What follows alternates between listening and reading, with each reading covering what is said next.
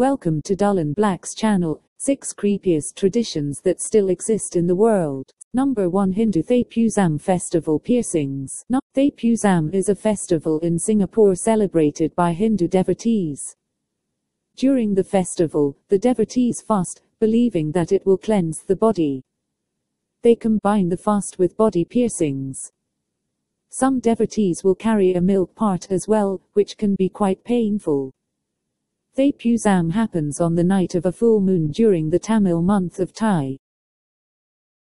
Number 2 Bullet ant gloves. Bullet ants have a sting that is 30 times more painful than a bee. S. the boys of an Amazonian tribe have to wear woven mitts containing these ants when they come of age. This is to prove their manhood. Number 3 Night hunting in Bhutan. Bomena is a tradition in parts of the Himalayan kingdom. Young men go out at night to search for love by sneaking into the rooms of eligible spinsters. They have to spend the night, and if they are caught, they have to get married. Number 4 Burial Ritual Yanomami The Yanomami people live in the Amazon rainforest. There is around 35,000 people spread in around 200-250 villages.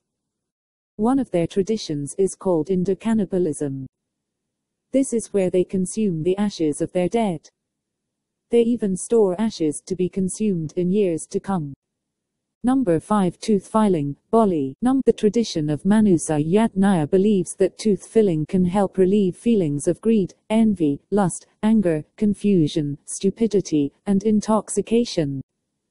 This tradition is part of becoming an adult, so boys begin once they reach puberty, and girls once they have had their first menstrual period.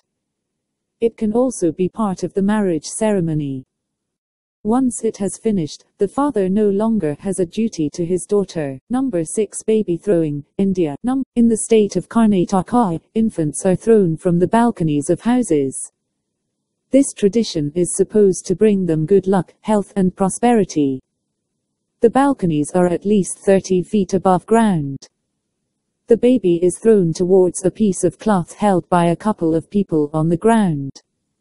Children's rights groups have called it barbaric and asked the Indian government to ban it.